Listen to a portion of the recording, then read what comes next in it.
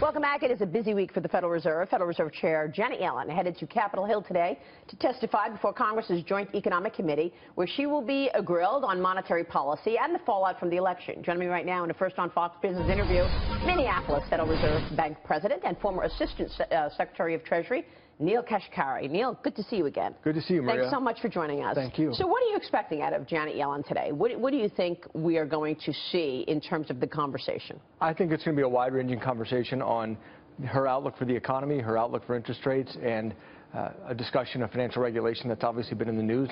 I'm hopefully part of the conversation helping to shape where we're going from a regulatory standpoint, but I think everything's on the table for yeah, her. Yeah, I want to talk about that because yesterday you spoke to the Economic Club of New York, of course, about what you have dubbed Minneapolis Plan. Your plan lays out a blueprint uh, for ending too big to fail banks, and, and you've spoken about this quite a bit. You think that uh, with the new administration, we will see an end to too big to fail at this point? I, I hope so. I think it's not a partisan issue. I've heard from senators and congressmen and women on both sides of the aisle who are concerned that the biggest banks are still too big to fail. We analyzed the history of financial crises. We've now got a 67% chance today of another financial crisis in the next century and another, another bailout. I think that's way too high. Our plan can drive that to as low as 9%, which is much better, and the economy will be better off in the long run. You, you said that your plan requires the incoming Treasury Secretary to certify that a bank does not pose a systemic risk to the financial system.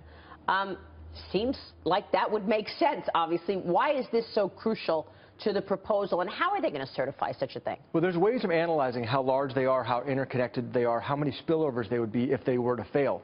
Today, there's no time limit. Banks can enjoy their implicit status as being too big to fail, potentially indefinitely, we're going to put a hard deadline and say either you are truly not too big to fail or we're going to ratchet up your capital requirements so you virtually can't fail. You know, this conversation has come up a lot uh, when I've had Jamie Dimon on the show, when I've had um, Brian uh, Moynihan on the show.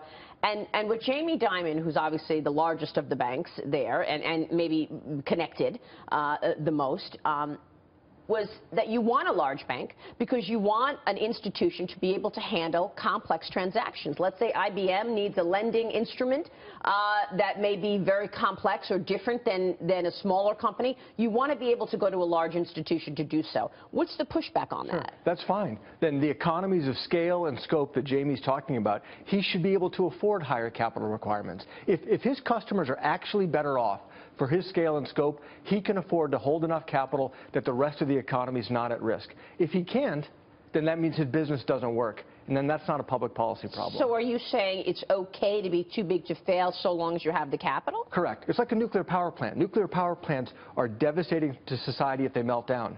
So we don't ban nuclear power. We regulate them so much they virtually can't fail. Yeah, okay. So we'll see about this because Trump has been very clear. He wants to roll back regulations as part of his economic plan. And part of that is actually uh, unraveling Dodd-Frank. Does that go right into the face of what you're saying in terms of too big to fail and ending that? Well, the details matter. I think there's actually going to be consensus that we need to address the biggest banks and the risk that they pose to the economy. And if you really address that, then you can relax regulation on the small banks that are not systemically risky. I think there's common ground across party lines on this. Because isn't it true that over the last six or eight years, uh, lending has actually slowed? Now, granted, we're coming off of the worst financial crisis in a generation. But these last few years, people are saying they can't even get a loan. Lending has slowed because of the regulation. Well, interest rates are very, very low. Borrowing costs are very, very low. One of the questions we have as a central bank is why investment has gone down a lack of confidence, uh, maybe projects that are, are, less attractive than they had been in the past. So that is a key factor, but it's not because interest rates are high. Remember, we've done everything we can at the Fed to keep interest rates low to spur lending, so borrowing costs are low, but there may be other headwinds in the economy. How does it feel to you right now, the economy? Do you think higher rates are justified? Well, I, am pleasantly surprised by how the markets have moved in the past week or so. And now it's too soon to draw any conclusions.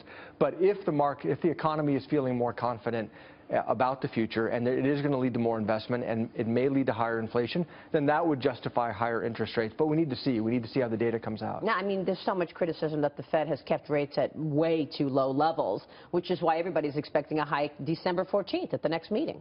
Well, again, we'll see. I'm looking at core PCE, the core inflation measure. I'm looking at inflation expectations and the headline unemployment rate. The economy has created a lot of jobs over the last few years. It has not yet been inflationary. That's been a good thing, putting more Americans back to work. We certainly don't want to cut that off prematurely before we see any real signs of inflation.